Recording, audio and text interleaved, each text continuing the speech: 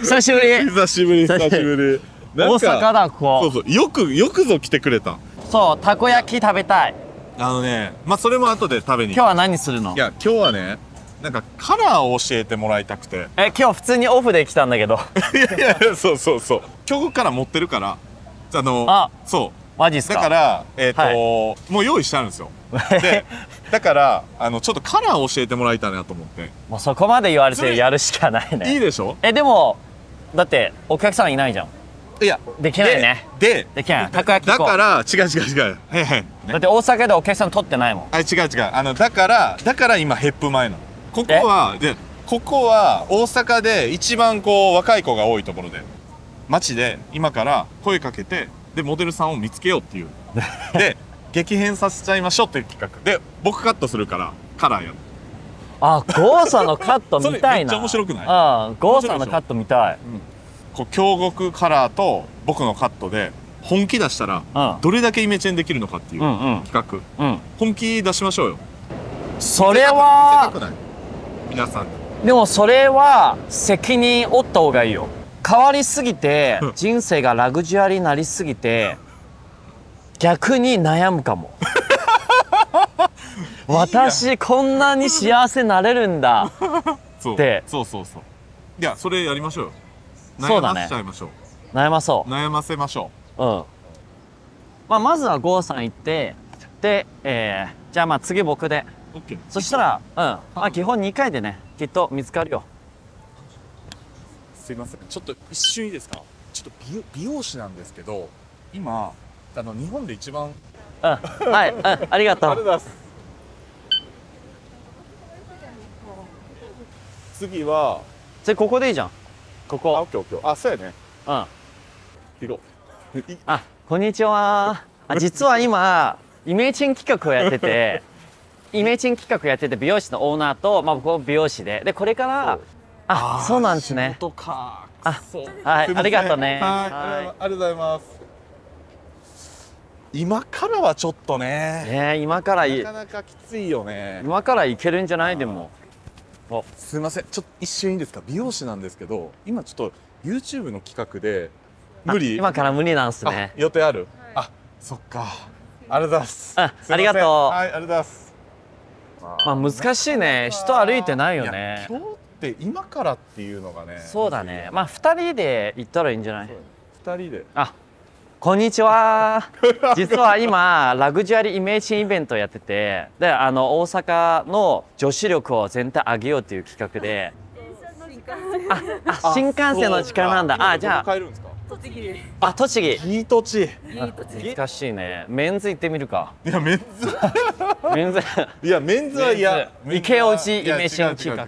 メンズは無理だよ。あ、すいません。今イメチェン企画をやってて、ああ いやーメンズも無理。関係ないよ。あ、すいません。We don't speak Japanese. あ、don't speak. あ、where are you from? あ韓韓国人。あ、カムサミンだ。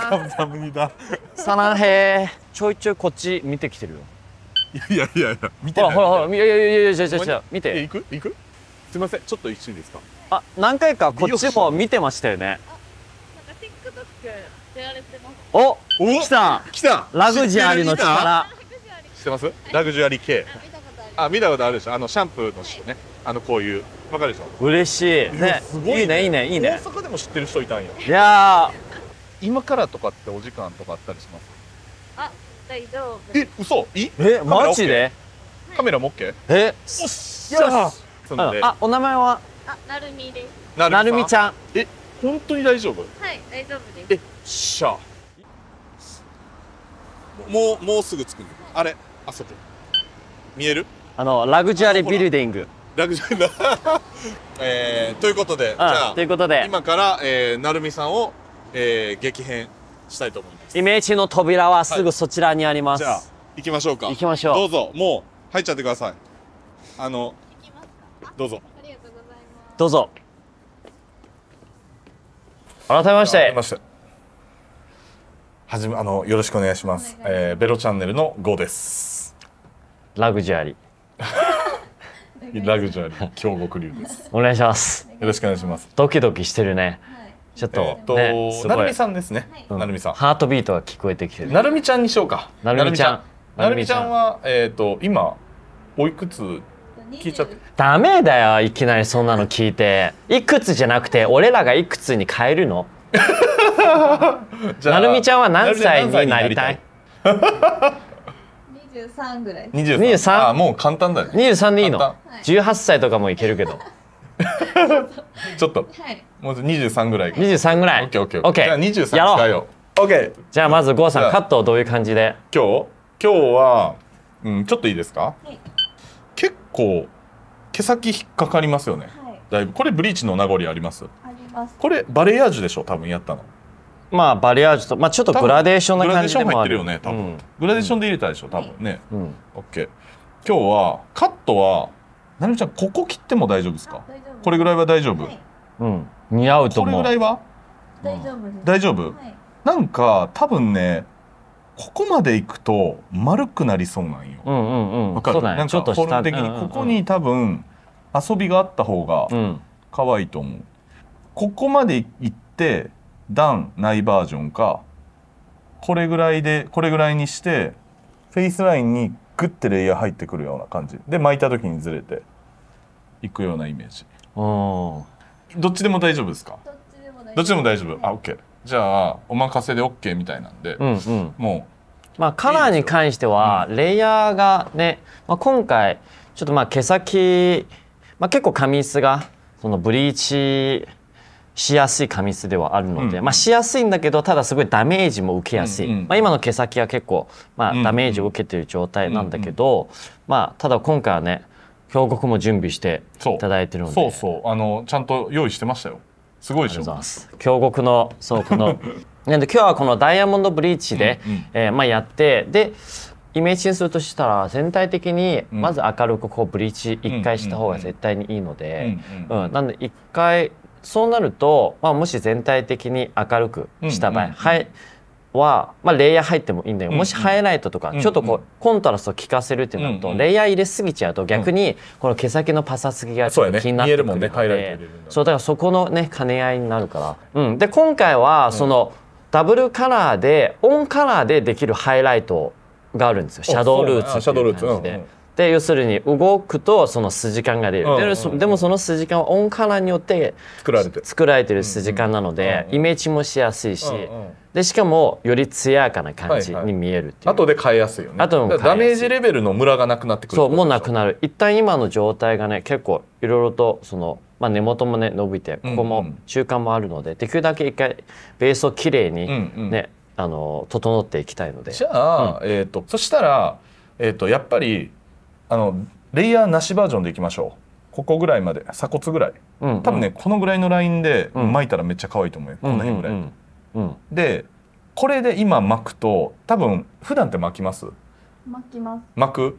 巻いた時にさ今だいぶ切ってないですよね。はい。はい。巻きにくいでしょ？巻きにくいです。ね。だから段が入らないと髪がずれないんで巻いた時に全部下にカールがゴロッとくるから。だから巻きにくい。下にボテッとなるでしょ。はい。うん。で上ぺったんこなるでしょ。そうそう OK それはもう解消しましょう。楽しみだね、はい。うん。ね。まあ、カラーもね今の肌もちょっとここら辺赤オレンジ味がある状態なのでそれを消してもっと透明感のある色にすることに色白とか透明感肌の透明感も引き出されるような色にしていくね、うん。うん。うん。OK お願いします。3じゃあ行きましょう。時間弱で人生が 変わっちゃいます。ニューライフ。ね可愛くなりすぎて何やったっけ？号泣しないでね。え何これ？めっちゃ溶ける。京極ローラーコーム、えマジで、はい。これすげえ。え、まあ、絡んでるのも取れるし、うんまああとはトリートメントで回る回る回る。そう回るでしょ。回る。えすげえ。あだから回るから、うん。その途中でクッて止まるところがなくて、うん。回って馴染んでいくそう馴染んでいく。中で髪の毛に物理的な摩擦を与えないこれすげえ。そうこれマジでコーミングしやすえいこれマジでいい。あ今日ハイライト入れてくれるっていうことだったんでシンプルな切りっぱなしなんですがじゃあいきます。なみちゃんいいですか？はい。はい。お。じゃあいきますね。イメチェンはい。スタート。スタート。うわーなんか隣で京極流に見られてるの緊張する。切りっぱなしは髪の毛少ない人はもう3パネぐらいで切り終わります、うん。3パネぐらいでしょ、うん。細かく取らないでしょ、うん取らない。でテンションはもう極力かけない。わかる。かけないでしょ、うん。無重力カット。無重力そう。カットはあんまりテンション上がるんでね。ゼログラビティ。そうそうなんかこんなに切らしてもらってますけどいいですか？大丈夫。ですか？どんどん切られることによって顔の表情が明るくなってるよ。はい。嫌な思いもね一緒にカットされて次の人生に向かって。そうですよ。髪とともに。そいいね。ううん。もうこれで。うん。これで一旦これでなみちゃんここの前髪のちょっとへあの深めに取っても大丈夫、はい。ちょっとだけ。そう。ここぺったんこなるでしょ。うん。これ直すね。こうやって切ります。前髪の長さって希望ある？短すぎず。すぎず。OKOKOK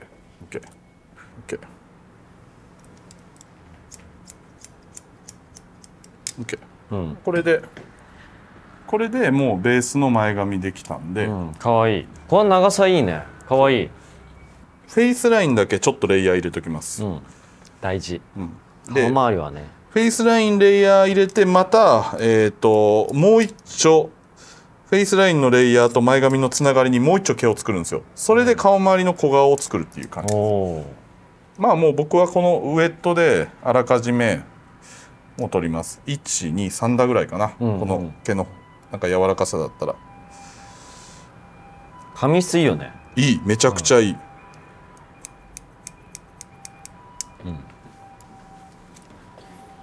うん。バックはもうほぼ入れず。あんまり上げすぎず。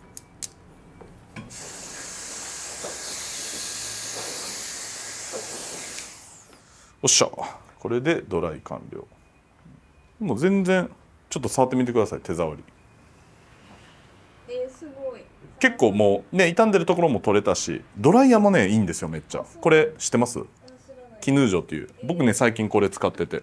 めちゃくちゃ風量やばくなかった？はい。ねめちゃくちゃ風量あるんですよ。ドライカット。ここからドライカットなんですけど僕が切りっぱなし切った時にここは絶対に減らします。これでもうセニングはもう使わずに。シザーで下から割る、うんうん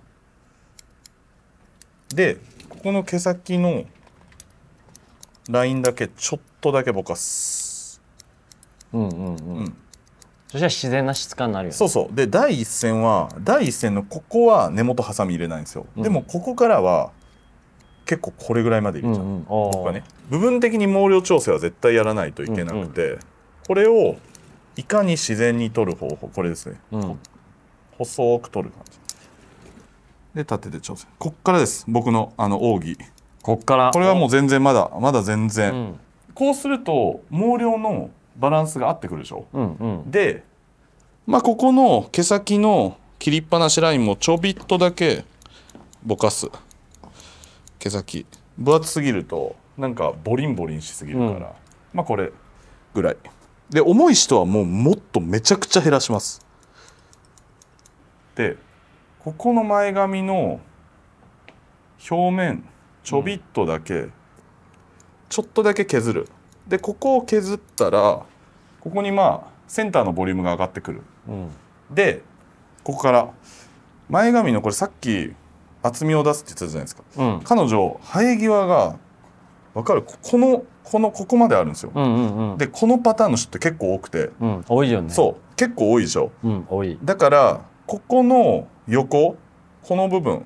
これを別口で本当はこんな広い範囲取らないですけど彼女は結構ここがちょっとポイントで産毛になってるんで、うんうん。ここはもう、えー、と結構これぐらい取っちゃう。本当は結構取るね。前髪三角からうん。ミニ三角、うん。だからロケットの羽部分だけフェイスラインの前髪とサイドの毛の間に斜めに切り込んだ毛を作る、うんうん。ですよ。こういう顔周りのポイントでえぐる毛を作る時はそのどれだけの毛の分量が欲しいかで決めたらいいです、うんうんうん。だから彼女はこんだけいるからうん。これだけ取ります。でこのまま持って斜めにここねこっから前髪の切れる寸前からスライドカット。で、えー斜めに落とす。したらここにグッて締まる毛がうんうん。張り付くんですよ、かなり違うね。うん。でこれを顔マに仕込んでそっから上にかぶってくると、ここのラインがめっちゃグッて締まるんですよ、うんこれでもうマイナス4歳だ。そうなんですよ。ああこれ目標達成するの難しいかも。18歳までいっちゃう。超えちゃう。超えちゃう？超えちゃう。で最後もう一丁。前髪うん。ここ割れるじゃないですか、うん。で女の子も絶対割れんすよ。でも前髪なんで割れるかっていうとセンターの厚みが絶対たまるんですよ。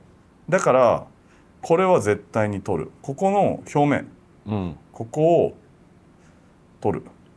これね。でこれどっから取るかっていうと僕こっから取るんですよ。あ結構取るね。結構取るでしょ、ね。これはでも、ね。でもめっちゃくちゃ馴染むんですよ。うんうんえー、ハサミの角度は0度。うん。うん0度でいくと本当にちょっとしか取れないか。らうん。わかる？うん。これでね。前髪の厚みのバランスが完全に整った状態、あで多分ねこっちよりこっちの方が若干重いんですよこういうのを処理しておくと前髪のバランスがめっちゃ可愛くなるんですよ。扱いやすくなるよね。そうそうそう。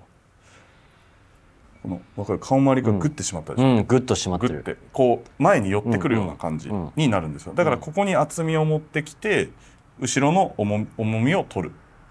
ちょっと僕はもう中にもうちょっと毛のずらしが欲しいので、うん。中の毛をこの表面の降りてくる塊、うん。これはちょっとだけ取る、うんあのなぜならやっぱり毛がずれる方が動くんですよ髪の毛は、うんうんうんだから軽さが出すっていう感じじゃないけど中にポイントで動きの毛を少しうん。仕込む。そうするとこの表面鉢回り動きが欲しいところに出る。これをまあカットでコントロールするっていう感じです。うん。質感がどんどん出てきた。質感がこうふわっと出てくるでしょ、うんうん終了。いいね質感。質感いいでしょ？うん。いいいいいい。これでラグジュアリーカラーをすれば。そう完璧じゃないですか、うん。そう。うん。じゃあまずは一緒にラグジュアリーブリーチしよえ一緒に塗っても大丈夫？う一緒に塗ろおっしゃ。うはい郷さはい。んはいこちらまずブリーチですね、はい。できめ細かい、本当や、っうん、ていうかボフってなるね。そうそうそうボフってなる。でこれで細かさがある理由としては、うんうん髪の毛にすごい浸透しやすいんです。よ、キューティクル一本一本。でしかもすごい保湿されるような保湿剤成分もかなり多く入ってるから、でまあまずこれでしょ、うんうん。でこのケラチンブースト、うんうんうんこれ人毛ケラチン100%うんうんうん。の魔法パウダー。でこれも入れます。オッケでこのダイヤモンドこれと、まあ、これに、まあ、5%混ぜると、ーうんうん。ブリーチが本当に超さらにツヤツヤになる。あそうなんちょっとだけ。うんうんだけ入れてで、えー、6%うん6パー。6パー2倍です、うんうんそう6パー2倍でリフト力も上げながらもはい。オッケー。はい。エプロン。エプロンつけて一緒に塗りましょう。こんなエプロン作ってる？絆の証ですよ。マジで？絆の証え俺エプロンつけたことないんやけど。マジですか？うん。一回もない。はいこちらラグジュアリーシールドを顔に貼ります、おマジ？はい。こういうことか。そうです。こう髪の毛がねブリーチとかブリーチ剤とかうんうん薬剤も髪につかなくなる。うんううん。ん。OK です。はい。おお絶大な安心感絶大な安心感やね。なんかもう混ぜ方からもうなんかねあのはい。なんかすごいね。すごいまあ今こういう感じ、まあ、新生毛は上がりやすいので、うんうん。で基本この一番見た感じうん。のやっぱこういった暗いところうんうん。もともと基線部のところで、なおかつ履歴が分かんないうんうんうん。髪質だとしたらまずこの中間にうんうんうんうん。もうたっぷりと塗る。のせます。折っちゃっていいですか、ん。カラー塗るのめっちゃ久しぶり。久しぶり。楽しい。まあで僕のカラーはコーミング？うんうん。コーミングしないです。しない？あオッケー、はい。ちょっとコよりー見て。よりやりコーミングしないでこういう感じでなじませる。でこの毛先を外してまず中間。ああなるほど。であーコーミングしそう。そう、えーまあちょっと待って、まあ、コーミングしない理由としては、コーミングしコあーミングすると薬剤ついてる状態でうん髪が物理的なダメージを、ね、感じることになるのででそれはやっぱ避けたい。なるほどねから、まあ、基本全部髪の毛もノンストレスの状態でやっぱあの色色素がを抜くやりがちやりがち。そうブリーチのね。いやいやいややってしまうね。指でこういう感じこう。こここういうこういう感じ？そうこういう感じで、髪の毛をこう綺麗に。うんうん、うん。うん、であとはいち早く全体的にブリーチを乗せてあげるっていうのが大事です。OK あでももうリフトしてきてそうですすもうリフトしてきてね。そう。このダイヤモンドブリーチは髪にツヤ与えながらもリフト力めちゃくちゃ速いので,、ん。うん、で根元は薄漬けですね。OK 薄漬けで。えコーミングしないの？はい根元もコーミングしないですね。えー、で徐々に塗布量をあのそういうこと。1ミリ1ミリ単位で増やしていくという感じで。時あ差ー。時間差をなくすたまあまあまあ。めにこれはよくやるけど、うん。やっぱりでもちょっと自分の塗り方じゃないと、うん、なんあそうです、ね、やっぱあ自分の塗り方でやってみてください。いい、はい。自分の塗り方でやっていい、うん。OK まあ、まずブリーチに関しては、うん。技術は、まあ、ある程度あるんだけど、うん。ぶっちゃけ作った薬剤で全て決まります、ああそうやねその作った薬剤の薬剤選定とか使ってるものによって、うん全て決まるんですよ、うんうんカラーに関しては、うんうんまあ、塗り方も一部あるんだけどね。やっぱその知識ですね、うんうんうん見極めと薬剤選定と何を使うか、うんうん。だからそれをすごい簡単にしたのがこの京極のブリーチとカラー剤ですね。あなるほどね。このブリーチは例えば今これ作ってうんうん。1時間置いてもうん。膨張したりしない、あで粉にそうなるほどなるほどなるほど。うでしかも見てください。塗ってるこのツヤ感すごくないですか、うんうんうん。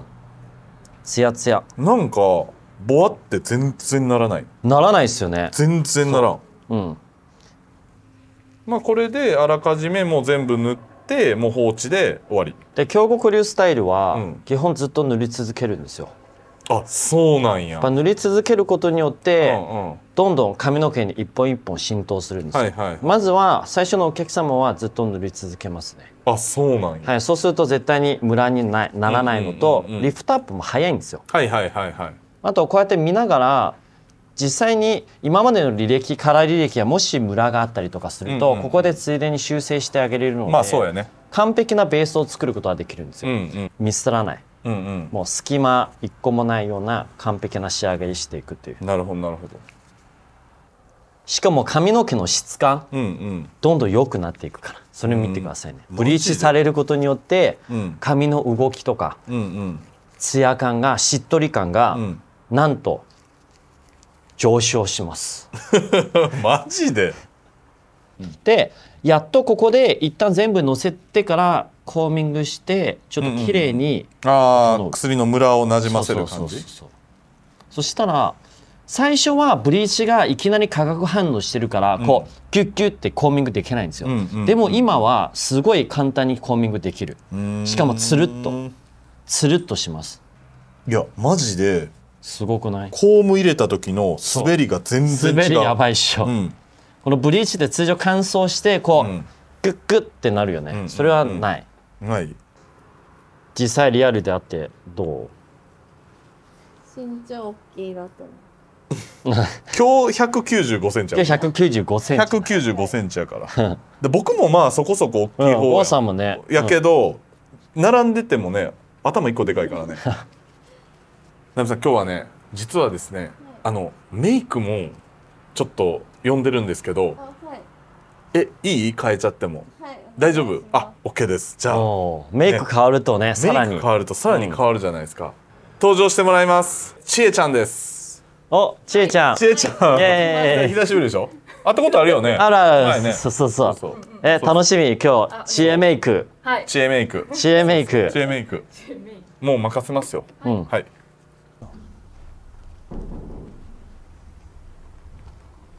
はい郷さん。これからラグジュアリーカラーを。オンからはいオンカラー。レシピ。郷さんレシピ考えたりしますか？しないんですほとんど。なんであの、は ちょっとカノン一緒に。カノンがめっちゃハイトーンカラー得意なんで。ベロを代表するカラーリスト。一緒にあのハイトーン派手髪系あの子いいですね。じゃよかったらちょっと一緒に聞いて。あ、まあ、競合のカラーがトーンがないんですうんよ、うん。あ通常ってブラウンとかうんうん。4レベルとかレベルありますよね、うん。峡谷はレベルがないから、ね。今回使ったこのレシピをそのまま同じやつ使えば、うんうん。この動画見てる人だったらうんうん。誰でも同じようにできる、なるほどなるほど。でもアンダーの色で絶対発色は変わってくるよね、まあ変わるんだけど、うんうん。ほぼほぼ、まあ、このアンダーの色にも左右されづらいカラー剤の調なるほどね。合になってるんで、うんうんしかもアルカリが低いのでうんうん。安定する、うんうんで全ての薬剤に関して残留しない、うんうんうん例えばまあこういうビビッドな色とか、はいはいはい。まあこういった暗めの色とかでもブリーチしたら元に戻る、うんうん必ず。でまあ今日は、まあ、ベージュ系、まあ、バレアージュのベージュブラウンとかそっち系の色合いなので,、うんで今の、まあ、ベースこれから、まあ、ブリーチ1回で、うん。えー、17.5うん17.5までいけます、うんうんまあ、もう一回したら18とかいくんだけど、うんまあ、ちょっと今日は、えーまあ、3時間という時間の中で、うんまあ、1回のブリーチ17.5、うんうん。まあ、このベースに対しての薬剤調合、うんうんうんで非常に簡単です、うん。ワンカップでグラデーションをうん。作れる、うんうん。えーまずはこのダイヤモンドをうん。使って、うん。まあダイヤモンドは要するに色素を薄くな薄くするものです、でまあ、今回根元ちょっと暗めに、うん。えーするので、うん。でこのチタンシルバうん。ー、チタンシルバーはどんな薬剤にうん。うん。5%入れるだけでオレンジ全部消えます。5%でめちゃくちゃ濃いんですよ。まあレベルあえてレベルで言うならこれ4レベル。チタンシルバ4レベル。真っー。黒でこのブラックは100回以上実験した。あそうなんや。やっと商品化できたやつ、へでまあクリアが20に対してこのチタンシルバーを今12えうんうん12入れて。てうん。で、まあ、あとこのシルバー。という、うんまあ、ミルクティうんうんーのような色ですね、うんうんはい。でこのシルバーはさっきのこのチタンシルバーとダイヤモンドうんうがん32だったので、まあ、それと同じような感じでうんうんうん。32入れて64うんですね、うんうんであとオキシ3%の峡谷のカラー全部2倍なんですよあそうなんやオキシ2倍ではい、使える。でこのワンカップでまずベースに塗って、うんうん。で同じ薬剤で、うんうん。とっておきの方法でグラデーションカラーをワンカップでできます、だからマジで要するにグラデーションこれだけで完成します。ええで使う一剤が 62g でその長さ今のこの長さで、うんうん。しかも余ると、うんうん。ドシンプルで。そうドシンプルそしてこのカラー剤に入れるこのコラーゲンブースト保湿、うんうん。うんこれも100%コラーゲン。なので、うん。すごいしっとりします。うんでしっとりすることによって仕上がったカラー後の仕上がった手触りがめちゃくちゃ滑らかになるんですよ、サラサラになる。でこれを一袋入れて、あとはオキシン2倍で完成です。ほ今ブリーチを全部塗ってで置いて30分ですね。見てください。1回のブリーチで綺麗に全体的にしかも髪の毛がツヤのある状態になっています。うめちゃくちゃ手触りが手触りがめちゃくちゃつるっとするよね。なんなんこのブリーチすげえんやでしかもこあの弾力やばい、うん。弾力あるね。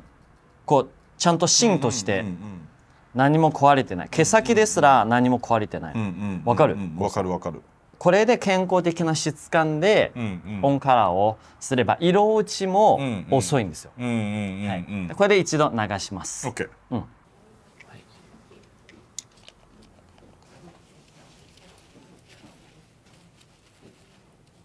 はい、このケラチントリートメント。これもさっきのケラチンブーストと同じようにケラチンがメイン成分のトリートメントなのでこれをオンカラーする前につける。ですごい濃厚なんですよ。ツルツルですよ。でこれトリートメントつけた後だとこういう感じですね。髪の。滑らか。滑らかです。でこれで流すとで髪に全部付着して、内部補修と外部補修どっちもケラチンで補修するので綺麗なベースの状態で色を入れることはできますね。なるほど。はい。よし。じゃあ行きましょう。はい。今ブリーチ1回でよいしょ。1回でもねかなり綺麗に抜けましたね、うんうんでしかも手触りもいい状態、うんうん。なので、まあ、前処理もいらないです、コラーゲンブーストをすでに中に入れてるので、うん。言ったら塗ってるこの薬剤が全部がもうトリートメントみたいな感覚になります、うんうんうん。うんでまずはこの根元ですね、うんうん。この根元を3センチでまず全部のせます、はいでオンカラーはスピードが一番大切なので、ん。基本オンカラーは時間も強国カラーはアルカリ度低いので,、うん。でしかも色素が濃いから、うんうんうん。時間も置かずにうんうん。こう色が入っていくんですよ、うんうん。だから目で見てその色合いの変化をが分かる。うんうんもし一人でね、えー塗る際にオンカラーはできるだけこのまずトップを全部うんうん。塗っていく、うんもう全部最後まで塗っちゃうと結果色の発色はね不均一になるので、うんうん。薬剤の、うんまあ、レシピとかをやっぱ結構2カップとか3カップ使うことによって逆に体色が不均一になりがちなんですよ、うんうんうんだから一つだけ一個のレシピでグラデーション作った方がよっぽどその満足度は高いんですよ。うん。だからお家でカラーシャンプーをね合わせて使うとお家が本当にしないなるほどなるほどカラーはチームワーク。うんうんうんうん。お客さんと自分のチームワーク、うんうん。家に帰ったらカラーシャンプー使うことによってき綺麗な色をね維持する。あキープしてもらってね。そうそうそう。いい感じの色になってきました。OK まあここでオンカラーするこの塗布する範囲を変えることによってハイライトに見せるテクニックを見せますね、こうんうんうん。うやって塗ってますよね、うんうんうん。で一番下は暗くした方がうん陰影としてうん。効果出るんですうよ、んうん。なので同じ薬剤で暗めの薬剤だから、中ね。でこれを開けるところをうん。2にするんですよ。で暗いところを8っていう感じにしてテンションかけずに、うん。でこの波形の置き方向も舞い上がりといううん感じにうんうん置きます。でこのつなぎ目もなじませるような感じで。でうんうん。明るいところにうんうん置きます。でこれでその次ですうねで毎回手を拭いてでうんこのズレによってハイライトがこうオンカラーでハイライトを作れる。例えば今この8対2なので、うん。次は7対3ってういう、ねその塗る部分が7で開ける部分が3そうです。なるほどなるほど。で開ける部分が最終的にやっぱ開けることによって明るくなるんですよ、でそれがどんどんこの上に連れてどんどん暗いところを減らしていくなるほどなるほど。そうすると自然と落ちる位置が暗いところが多いので、自然と明るいところがハイライトみたいに見える、ああなるほどなるほどなるほど。えーこれ今これ足したのこれは？ラグジュアリーウォーターです。あそれはあの大阪の水？大阪の水ですね。東京の水でもいでけます。もいける。あ。でこれをまあマドラーない時は、うんうん。こうやって手でうんうん。混ぜてこのまま乗せます、えー、きますね。あじゃあもう毛先は本当にちょっとちょっとふわっと乗るぐらい。ふわっと乗るぐらいだけどもう綺麗に入りますこれは、マジで、うん。入ります。今こうやって見えますね。ここにちょっとオレンジがあって、うんうんでこれに対してにするんですよ。うんうん。う んおすげえ。すごくない？んかえー？なんか新感覚。そうしウォーターカラーウォーターカラーはいでもそれじゃないからすごいなんか色が入り方がここで見てもグラデーションで入ってるってことそうそうそう。そうなんですよ、うん。うんでしかもこれめちゃくちゃ早いんです。もうこれ完成ですね。なんといってもこのツヤ感。見てくださいこのツヤ感。カラー後の。あとツンとした匂い。感じる？カラー剤の。しない？うん。普通ダブルカラー後うんの質感ってきしまない？きしむ。カラー流し、んんん。そうだよ、うんうん。これ触ってみてほしいんだけど流したて。うん。え どう？すごくない？えすごっ。どう？トリートメントしてない。もうこれだけでも結構ねつるっとするようねすごいね。でまあこのままこのシャンプーをちょっとかけていく感じで。これブロンドですね。何これはミルクティー用のシャンプーでうんうん。明るくなります髪色が。ええ？うわえ明るくなるんですよ。ミルクティーみたいな。オレンジにはならない？ならない。だからこれはもうやっぱ無彩色をうんうん。そう究極に突き進めてこのブロンドシャンプーを作った。結構ミルクティーって一番色落ちしやすいんだよね、うんうんそのベージュ系とか、うんうんうん。かといってムラシャンとか使うと結果そのシルバーになったりとか、はいはいはいはいでもミルクティー維持したい人はシルバーになりたくないから、うんやっぱこういうブロンドシャンプーオンリーワンだね。はこれをみんなに見せていきます。こういう感じですね。あ質感が。この繊細な色合いのメルトがこう感じ取ることができますね、うんうん。はい、えー、号泣しないでね。あすごい。すごいですね。めっ綺麗ちゃね綺麗すぎだよね。うん。まあこれでね乾かすとさらにイメージしやすいと思うんでまた今濡れてる状態だからね。うん。じゃあドライする前にラグジュアリースプレーをして はい熱から髪の毛を守って髪に栄養を与えていきます、はい。ラグジュアリースプレーを内側から、はい、ツヤのグラデーションを作ります。どこまで振ってツヤのグラデーションほらこういう感じで毛先をふわーっ一番ね重めにしながらツヤのグラデーションをこういう感じで。はい。かわいいうわ。うん。これでもかなり手触り。かなりいいでしょビフォーよりいいでしょ。めちゃくちゃいい。ブリーチしてんのに。自分で、えー、すごい。やりたてでこのサラサラ。どう？やりたてってブリーチ後、ね。ブリーチ後で全頭ねしかも。俺こう見ながらああーいいですね、うん。いいですね。ラグジュアリーいやもうこの段階で可愛いけど、うんでもかわい弾力やばいし。弾力すごいね。っていうかやっぱり手触りすげえいい。あとね色飛びもしないの。あー確かに。気づいた？色飛びしないんだよ。確かに。いいんですか？こんな。え大丈夫です？困りますよ今日から。ねえ？そうだからここの準備できたかって一番初めにね聞いたよね。そうそうそう。バリカワもうバリカワバリカタみたいに言わんといてもらっていいですか？